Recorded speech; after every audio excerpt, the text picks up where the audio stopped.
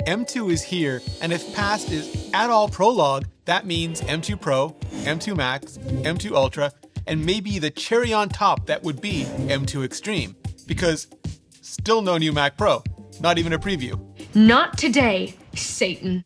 Damn. Seeing what we got really is one of the best ways to figure out what we're gonna get, starting with M1, which Apple debuted in November of 2020, followed by M2, which just got announced this month in June of 2022, which is, yes, 20 months later and almost two years from when Tim Cook first announced. We envision some amazing new products, and transitioning to our own custom silicon is what will enable us to bring them to life.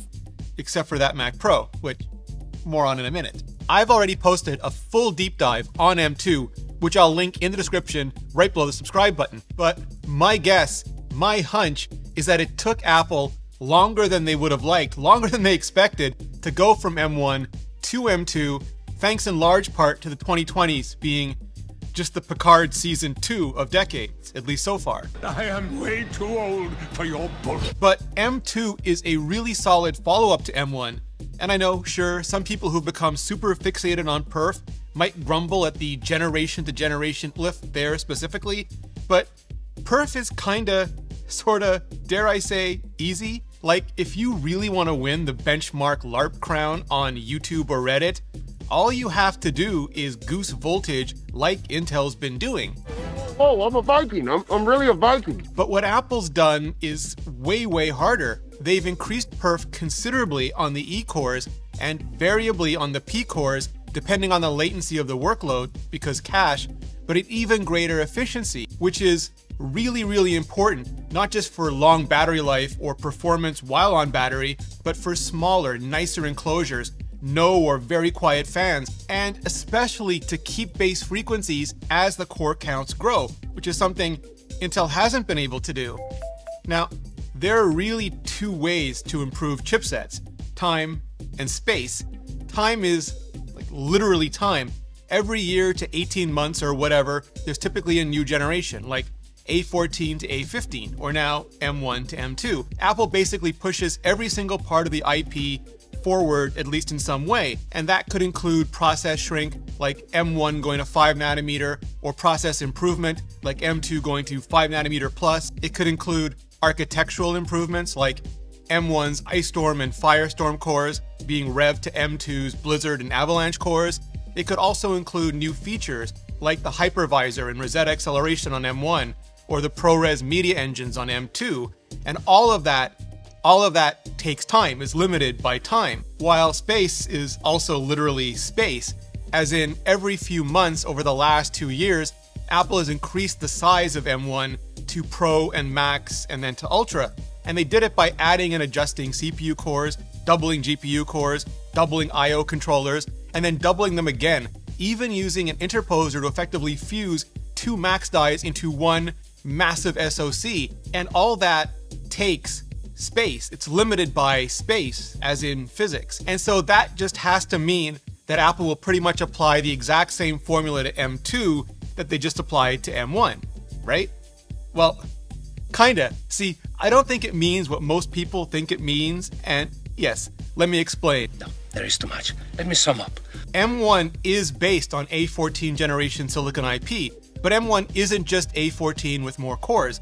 It's also its own whole entire fully realized chipset that spun A14 generation IP into something uniquely suited for ultra low power Macs.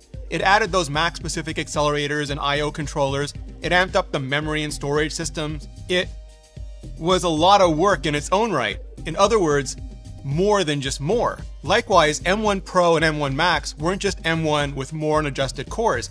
They also added A15 generation IP in the form of those ProRes media engines, the ones that Apple has started building out for the 2019 Mac Pro with Afterburner, but shrunk down and sped up by placing them on die. Also, LPDDR5 RAM for faster memory bandwidth and multiple display support. So, yes, also more than just more.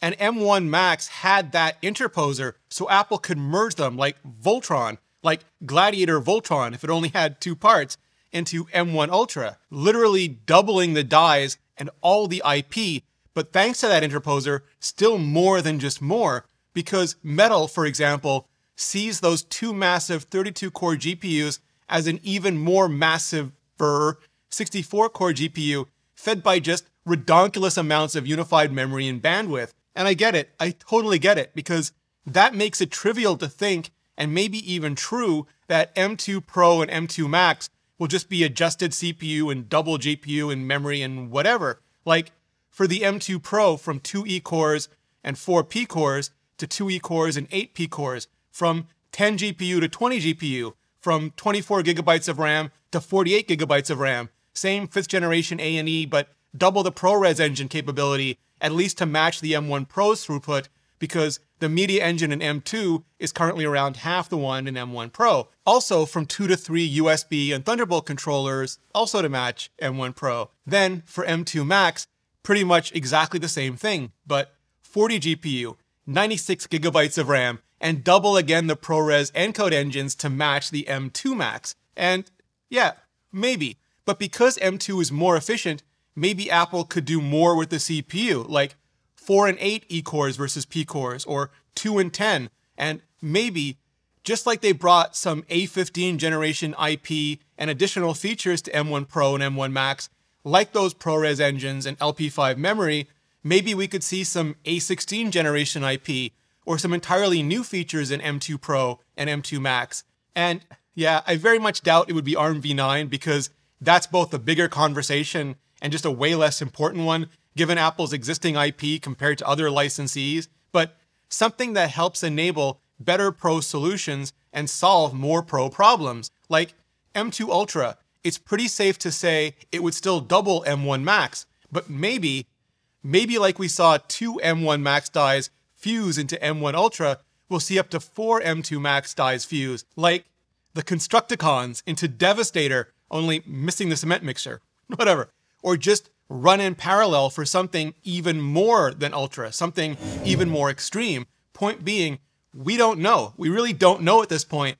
Everything everyone is saying or charting or even leaking right now is somewhere between informed analysis and full on fanfic because Apple doesn't design commodity chipsets just to be crammed into rando bead blasted aluminum boxes. They design very specific silicon to deliver very exacting capabilities for each and every Mac in the lineup, from the just launched MacBook Air to the still Judge Judy tapping that wristwatch, where is it Mac Pro? Pretty much exactly like today's sponsor, Henson, and their razors. They're not gimmicky, they're not complicated, they're simple, they're precise, they're Canadian. Produced at an aerospace machine shop, family owned for 20 years, where they've made parts for everything from the ISS to the Mars rover, so they know literally an unearthly amount about quality.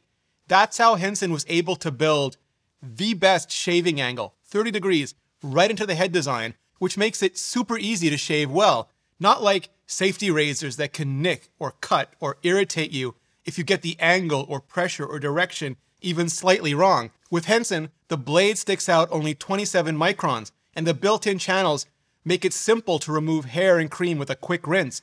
And as someone who used to go through packets and packets of neon razors and all the waste that went along with them, using Henson is like a dream. And the best part, the absolute best part, is that this aerospace quality razor is designed to work with standard recyclable blades. In fact, if you click the link below and use code Rene Ritchie, they'll even send you 100 blades free with your razor. So click the link below and use code Rene Ritchie to get a free 100 pack of blades when you purchase your razor. Clicking on that button really helps out the channel, and so does hitting up this video for way more on M2 and Apple Silicon. All the info, all the details, just hit it up, and I'll see you in the next video.